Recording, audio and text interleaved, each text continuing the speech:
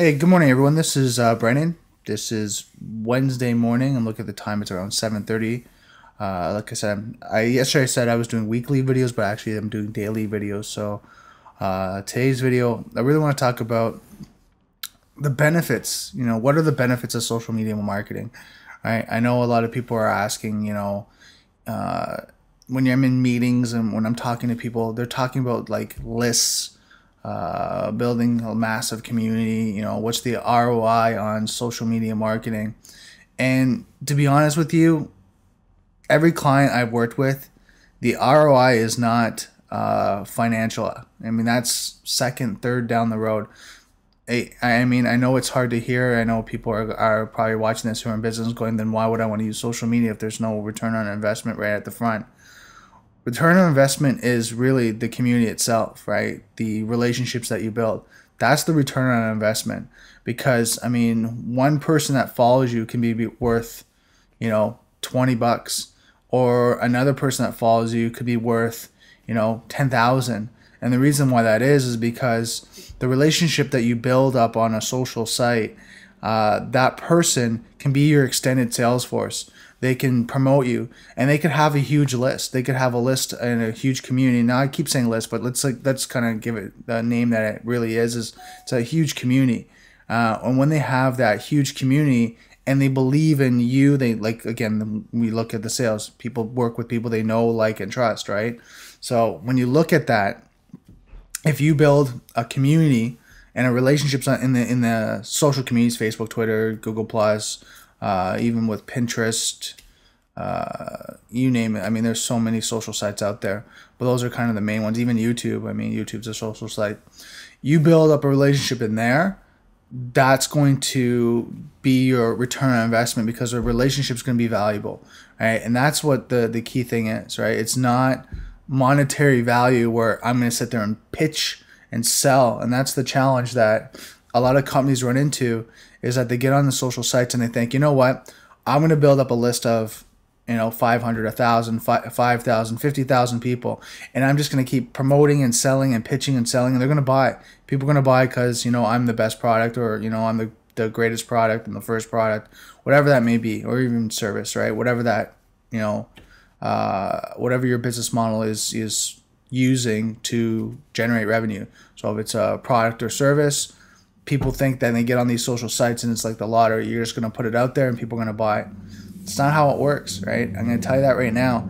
And that's why like I keep changing my my social networks and working with my community and not pitching and selling on my own, right? And what I practice what I preach. If I don't pitch and sell on my own, I don't tell my clients to do the same. I tell them to educate, I tell them to, you know, provide great content information, 80-20, talk about, you know, the 20% is generally events, things that are going on, maybe some promotions, but it's very very limited. I don't do it too much. I mean, I tell them generally maybe once a month right? Every you know four weeks, to have a promotion, have you know a contest, whatever that may be. But the other eighty percent needs to be customer service, customer relations, uh, relationship building, engaging, interacting, having fun. That's what social media is about. That's what social networking is about. And now the media part, I mean, yeah, it's content, it's information, it's articles, videos, right? Blog posts, whatever that may be, you know, uh, podcasts, audio but providing content, providing information, education, how to's, right? Helping your community, whatever business you're in, uh, learn more about you, your products, your services, right? And being able to test it, try it out, as well as learning about you. I mean, that's the most important thing is, is they learn more about you because they want to know is, your, is that are you someone that they can trust? Is someone that like they, they really like to work with? Is it someone that they you know they trust? You know if they're going to buy a product or service service with? Is there going to be any challenges? You know if there is any challenges, are you available to support and help them?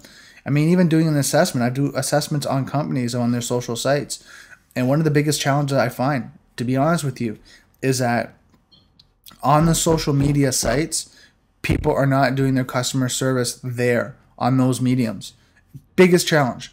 Right? And like I said, uh, let's give you an example for like Twitter.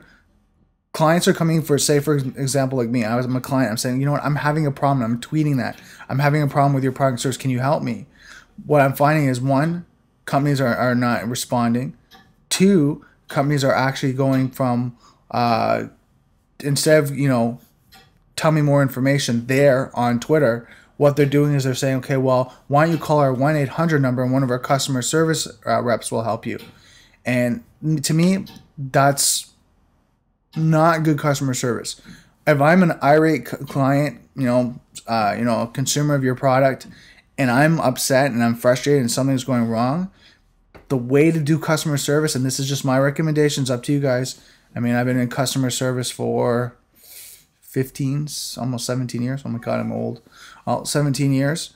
And first and foremost, if a guy tweets you and says he has a problem with his product, I would have my customer service people contact him on Twitter, ask him if we could call him, right, or contact him, send us a direct DM, like a uh, direct message with your contact information. We'll call you. We'll we'll go that extra mile because what happens is I've taken as a client, I've taken the leap to open my you know my objective that you know I'm having a problem and, and I'm, I'm frustrated for you to make me to jump through hoops to get that solution. It's not good. It's not good customer service. That's just my recommendation. What I see. What would I would recommend is if someone tweets you, someone puts it on Facebook, someone puts on Google Plus, you contact them, you connect with them, and you get your customer service people to contact them directly. Say, look, you know what? I understand you have a problem. Is there anything we can help you right here on Facebook? And guys, little insider information. If you help them on Facebook, more people will see what you're doing, what customer service you're providing. They'll understand that you really care about your clients, right? The value that, you know, on top of not even just your product yourself, but your customer service and, and your support. Pe- other people will see it if you just even one person comments and makes like a, a like a, a question about a product and service. If you put that on your social sites, all your community sees that and they see how you care about your community. They care about your clients. See, and that's why I do what I do. It's not the point that I'm trying to do like PR and public relations. I want people to know that I really do care. I really do want to provide support. I want to be out there, I want to help. Well, if you do that with your product and service, your other clients and potential clients will see that and they'll value your product and service even more now because they understand it's just not about the revenue that you're generating it's about you know your product can help a challenge or even you know help someone you know overcome something or maybe it's something people really just want like it's a dream right you know uh, computer for me i'm an it guy so you know macbook pros whatever i like it because you know i get to play and do all these things if I had a problem and I went on the Apple's Facebook, say, uh, fan page and said, look, you know, I have a problem with that, and their customer service said, you know what, just do this, this, and this. This will hopefully resolve your problem. And other people in the community saw that. Guess what? Now you have people that are going, you know what? They really do care. They really do. They don't. They're just not about their product and service. They actually go that extra mile. So guys, that's what my video is today. You know, the just the benefits of social media marketing and, and how to use it properly. Uh, if you have any questions or comments, uh, comment below. Uh, I have this on like all the social sites, Facebook, Twitter, YouTube, whatever that may be. Comment. I'm always watching just to see and how I can, you know, just respond and help you guys out. And let me know what other videos you'd like me to do. I mean, right now I'm just kind of going off the cuff and stuff I see and just going through my journey of what, you know, I see day to day and, and working with my and I keep calling them clients, but really they're my business friends. I joke around with them, I have fun with them. I mean, that's what I'm really about, right? I'm about helping and just providing value. So, guys, I'd like to thank you for watching this video, and I'll talk to you tomorrow.